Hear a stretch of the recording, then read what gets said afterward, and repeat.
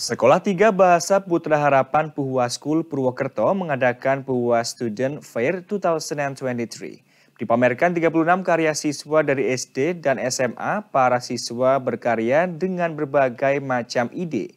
Mulai dari merancang robot penyedot debu, membuat parfum dari aroma bunga, hingga uji coba organ katak dan lain sebagainya. Seperti apa menariknya? Berikut selengkapnya untuk Anda.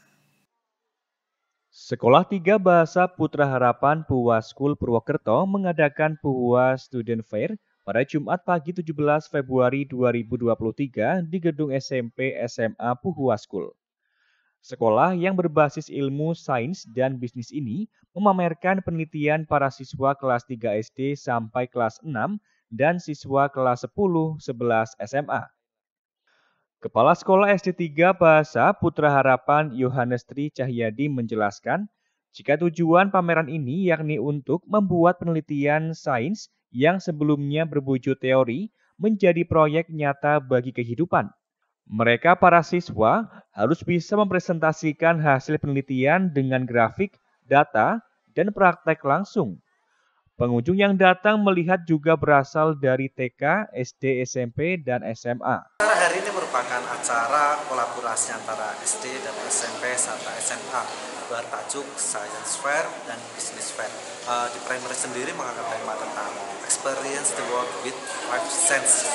Jadi di sini anak-anak akan mempraktekkan hasil karya atau pembelajaran mereka di kelas sehingga anak-anak selain belajar dari buku, anak-anak mempraktekkan secara langsung juga.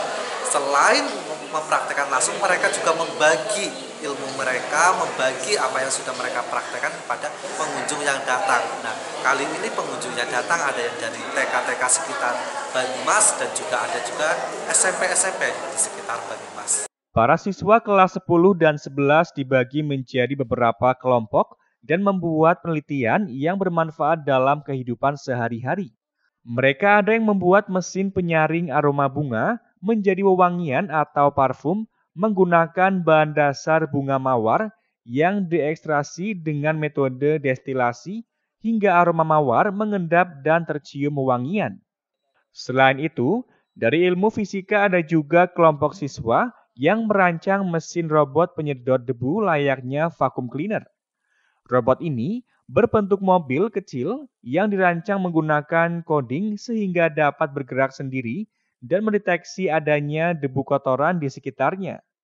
Para siswa mengaku tertarik dan senang dengan pembuatan robot ini. Uh, jadi kita mencoba untuk menggabungkan fisika elektro dengan coding-coding itu menggunakan alat yang namanya Arduino. Di situ kita cokin kabel-kabel dan lain-lain, terus kita coding di program pakai komputer. Terus kita mencoba untuk menggabungkan yang lain yaitu dia bisa nyedot debu, dia pakai baling-baling jadi puter begitu. Tak kalah menarik dari basis biologi ada juga kelompok siswa yang melakukan uji coba organ katak yang telah mati dengan cara mengalirkan daya listrik. Dari hal ini dapat diketahui jangka waktu katak itu mati dan dapat mengetahui jika organ makhluk hidup dapat dilakukan transpalasi. Kelompok ini merupakan kelompok yang mempraktikkan ilmu biologi. Pertama kita penelitiannya tentang katak yang diberikan arus listrik supaya bergerak. Karena katak itu konsepnya e, seperti makhluk hidup.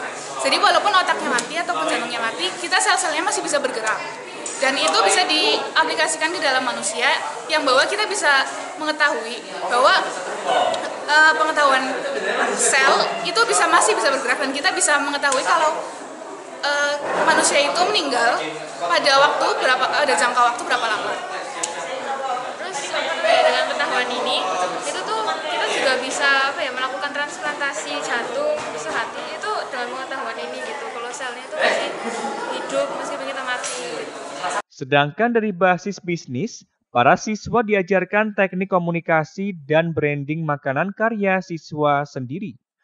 Dengan sebutan kelompok Space Tour produk makanan dan minuman yang menggoda, para siswa akan terdorong memasarkan produk sendiri dan praktik bisnis langsung hingga mampu menghitung modal dan keuntungan serta belajar pola pikir berbasis leadership.